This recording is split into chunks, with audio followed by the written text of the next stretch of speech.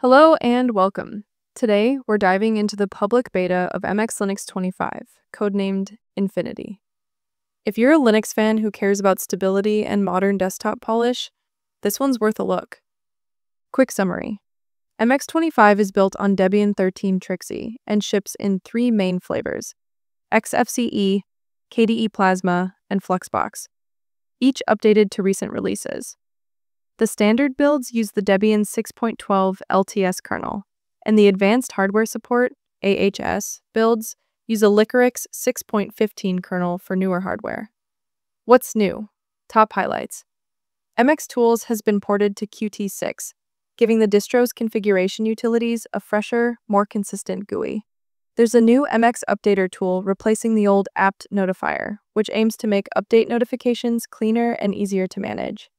The live system from AntiX has been updated to work better with systemd, widening compatibility between systemd and sysVinit editions.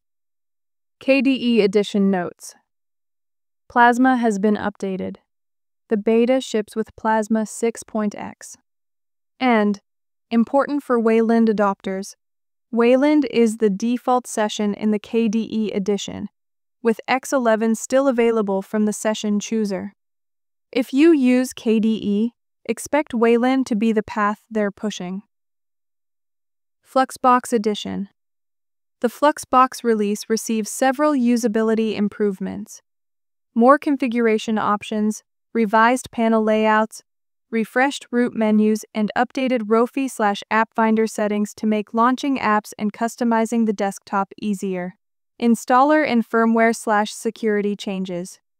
The installer now includes a replace function to help swap an existing Linux installation more cleanly. There's also support for 64-bit UEFI secure boot in the standard signed kernels.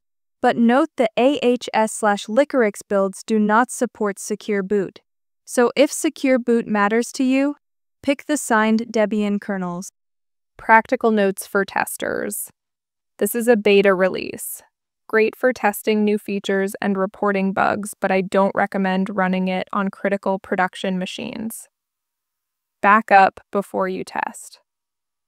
If you want to try it, grab the beta ISOs from the MX Linux download page and consider testing in a VM or on a spare drive first.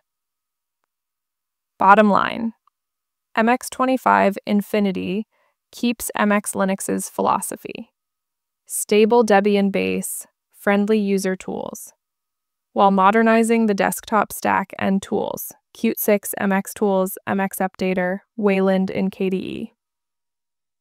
If you like Debian's stability but want more up-to-date desktop polish, this beta is a solid preview of what's coming.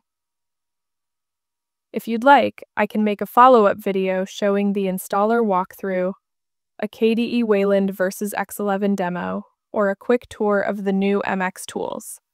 Tell me which one you want. Hit like, subscribe, and drop your questions in the comments. See you next time.